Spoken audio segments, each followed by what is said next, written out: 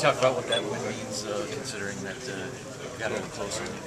Yeah, I mean, it was tough down the stretch. They made some plays, and um, you know, we didn't execute too well down the stretch on offense. You know, and, uh, until they scored, and we went down there and put a drive together. So, I mean, we just got to be consistent.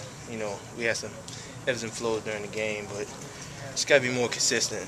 You know, instead of just you know, one drive here, we go down there and score, and then one drive, we just look real, real flat. So, got to be consistent throughout the game.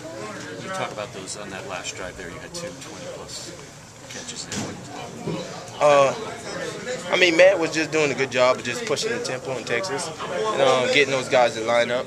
And um, once he knew we had single high, he was going to try to get the ball to the outside. So, you know, he did a good job of doing that and, you know, just making people miss and breaking tackles and just trying to get upfield. What do you think the difference this week and opposed to last week, for example, in the red zone? You guys were able to convert today as opposed to previous weeks. Oh man, we, we, we stayed in Texas down there, and you know, and um, didn't give them guys a chance to line up and call defenses. You know, instead of you know last week kind of let those guys get back in the game and let them you know make their calls and stuff like that. So just got them to line up, you know, and see what they were in, and you know made some good calls down there, scored some touchdowns, helped out our red zone efficiency this week. Can you describe that touchdown catch by you? What kind of happened on that one? Oh, uh, it was a perfect play call actually.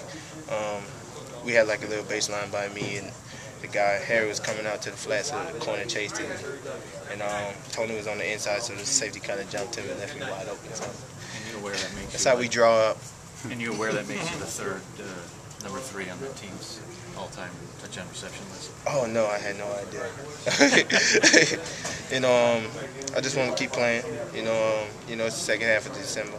I mean, second half of the season. It's it's it's time for us, you know, to hit our strides. It's November and December football, so you got to go out there and win.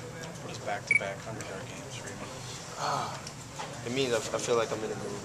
You know, and uh, I feel like you know it's finally starting to put things together and uh, just keep rolling. You know, it's, it's about time for us to you know take off and you know right now we gotta we gotta keep going. You know, um, it's a time where you have to win games in this league and. Uh, to be relevant at the end of the day. So we got to keep going.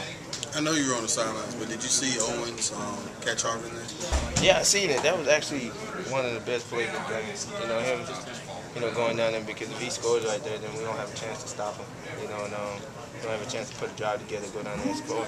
So uh, you know, the defense came up big on that goal line stop, and uh, congratulations to them. I love it. Was it a little stinger on your shoulder there when you went down? Yeah, a little sting on my shoulder. It was kind of tough. Guy hit me right on it.